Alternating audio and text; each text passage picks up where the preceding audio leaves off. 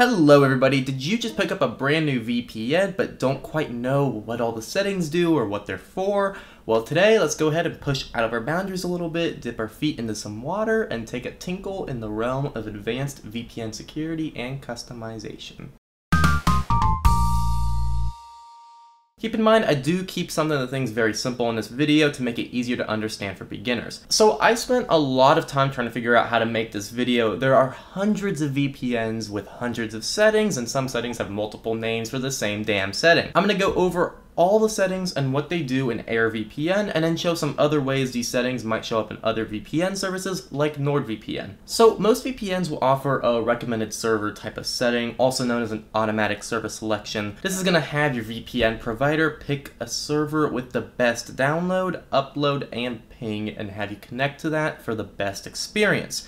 Keep in mind it's not a perfect feature and a lot of times it doesn't actually select the best server for you. Here on AirVPN there is this setting called a network lock. This is a name specifically for AirVPN and the actual setting in most VPN providers will be called a kill switch. So if your VPN connection drops for whatever reason, the kill switch will stop all internet traffic from going through which otherwise would expose your IP address and internet identity. No bueno. Now, most VPN companies out there have an automatic kill switch like AirVPN's Network Lock, which blocks all internet traffic system-wide from going through. There are some VPNs, however, which have a manual kind of kill switch which only kills pre-configured programs specified by the user like NordVPN. So Nord is going to have you select programs to quit if the connection drops, which isn't as safe as a full system kill switch. Next, selecting servers. Lots of VPNs will give you a nice big list or map of servers with all these crazy numbers. Now, no need to get angry, this isn't your college calculus course. Let's slowly break this down, it's not as bad as it looks. So here you're gonna have a country and location, yay! Some VPNs will give you a score, I tend not to look at them, it's pointless if you understand the numbers. So latency typically referred to as ping is measured in milliseconds,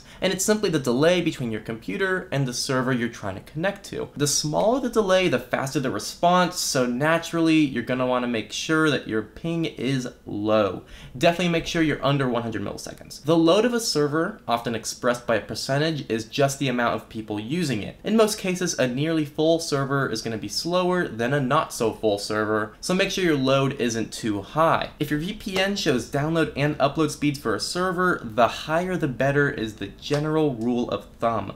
And overall server speed is primarily dependent on its ping and load in combination with the server's download and upload speeds. There are some exceptions, like when a server is optimized for a specific task, but this is the general way to go about it. Whew, we haven't even opened the settings panel, so let's go ahead and open settings for AirVPN. Nearly every VPN provider will offer some kind of setting to open and connect your computer to a VPN server when Windows boots up without you having to open the program yourself. Typically, you want to select Start with Windows for the program itself, in addition to Connect at Startup to connect to a server when the program starts up. This is a pretty universal feature for most VPNs out there. Minimizing to the system tray is simply hiding the program from the normal area for programs to stay, and only keeping it in your notification area. Next up is VPN protocols. For the most part, you always want to stick with UDP protocols. UDP is more efficient and faster once a connection is established. The only times you're going to want to use TCP protocol is if your ISP is blocking your VPN,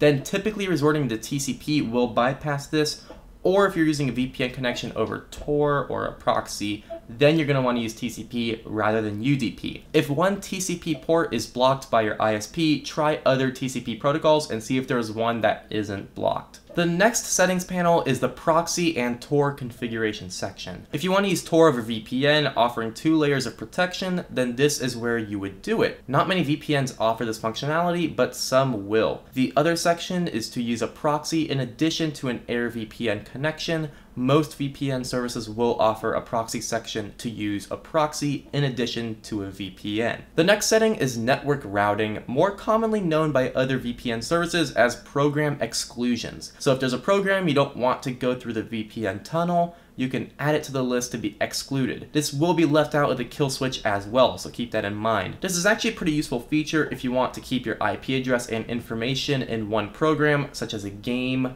to be your normal IP address because sometimes in a game you don't want the normal slowdowns that come along with using a VPN. Next up is DNS settings. A domain name server, aka DNS, is like a phone book for the internet. It maintains a directory of where websites are located. You can use your own custom DNS in this section, and most VPN services will allow you to use a custom DNS. Typically, the automatic DNS chosen by a VPN will be a-okay, so you don't have to worry about this. Those are going to be all the main settings you're probably going to want to deal with in AirVPN.